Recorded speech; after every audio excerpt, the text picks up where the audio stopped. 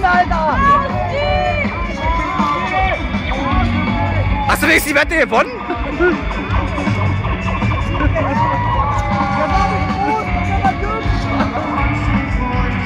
Kannst du deiner Mutter ja was zeigen?